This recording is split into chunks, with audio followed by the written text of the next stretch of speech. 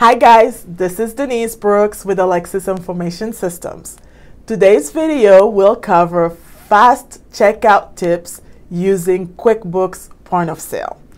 In this video, using a live demo of QuickBooks Point of Sale V18, I will show you how to add UPC codes from your manufacturer into your item list and then I will also show you how to create quick picks in your make a sale screen so it would help you check out a little bit faster. Then after that demo, I have an in-office demo where I show you how to print your item barcodes using the Zebra printer called Z Zebra ZD410. It's a USB printer. And then I will also show you how to print a quick lookup page that you can get your item list, the items that you sell the most, you can have it on your counter. That way, if a customer comes in, you can just uh, scan those items. So that's a lookup page. So I will show you how to make one and print it using just your regular laser printer. So Keep on watching. I will switch now to the computer demo. Guys, welcome back, guys. In this scenario, I would like to show you what you would do if you wanted to create an item that has your manufacturer's UPC code. That way, when you check out, you can check out the product directly. As an example, I am using Pledge, which is a product that all of you have seen. And in the back, there. That's your manufacturer's uh, UPC code. It's also a barcode, of course. Okay. So I'll create a new item. Call it pledge, clean it. And for the sake of the example, we'll, we'll just say it's promotional and we'll give it a price of $8 and let's put a quantity of five. There's a lot more uh, information that we can add, but for the sake of this example, I'm going to only put those. Before I save, because this is a new item, what I could do is type all of this into the UPC code. Uh, ignore that. I could type all of this into the UPC code box. However, I would recommend that you use your Honeywell scanner I'm pretty sure most of you have one of these. It com- usually comes with your uh, first purchase. And if you need one of them, I can get you a discount. Um, all right, so let's do this. So I make sure that my cursor is on the UPC code and see if I can do this backward in there. Yay. All right. That saves it. All right. Now we have the UPC code along with our, our item number. So every time we have to sell pledge, all we would have to do is just scan it directly. Let's make an example. Go to make a sale. All right. I'm using the same thing. Yay! This makes it so much easier for you if you are able to do that. So you'll never have to buy label uh, paper and reprint it. Saves you a lot of time. Next, I will show you how to create a quick pick list. Also helps you speed up your checkout process. See you in a minute. Back, guys. For this scenario, I want to show you how to create quick pick, uh, quick pick items. In QuickBooks Point of Sale, you use quick pick items for fast checkout. Right now with the V18, when you get to the quick pick screen, it also calls it group, which can be confusing if it's the first time you use it.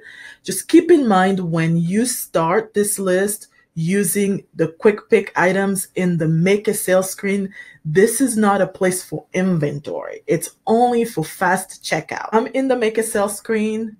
I click on quick pick items and on the right of my screen, you'll see it says add group.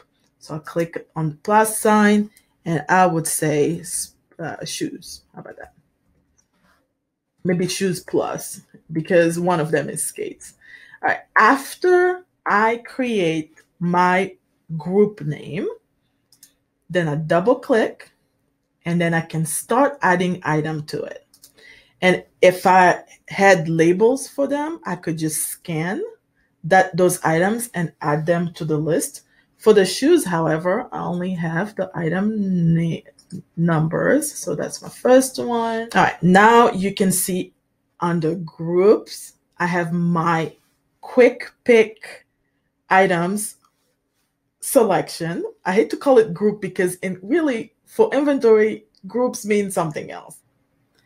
Now that we set up our quick pick items, I want to sh- show you how you can sell it.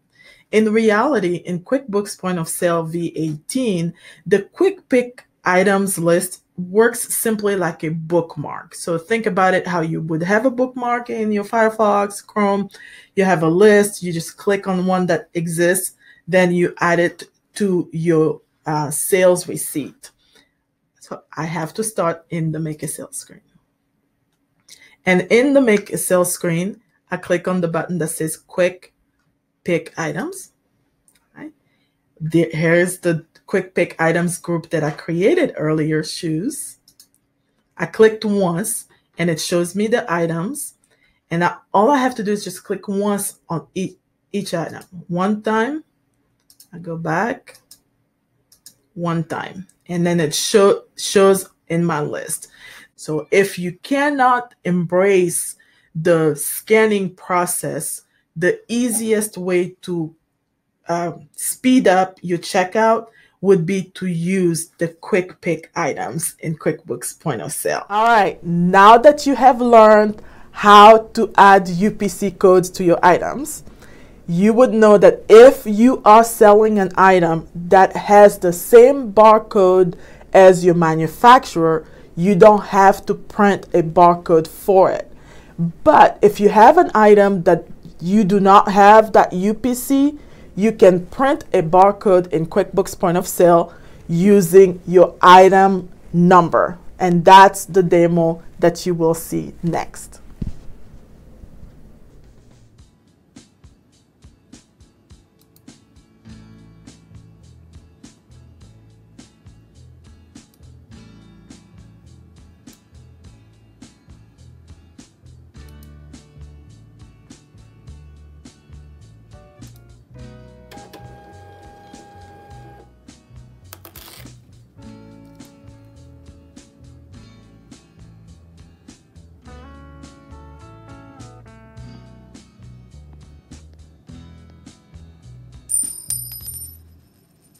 This next demo shows you how to print in one page a list of items with their barcodes.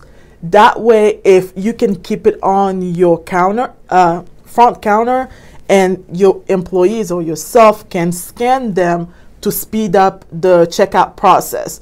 So an example would be, let's say if you sell pens or needles or something that is so small that you can't put a barcode on, but yet you want the ability to be able to scan for accuracy. Because if you type on your screen looking for those items and you have a lot of people waiting, it doesn't help your business. So next video, next uh, screen will show you how to print a lookup paper.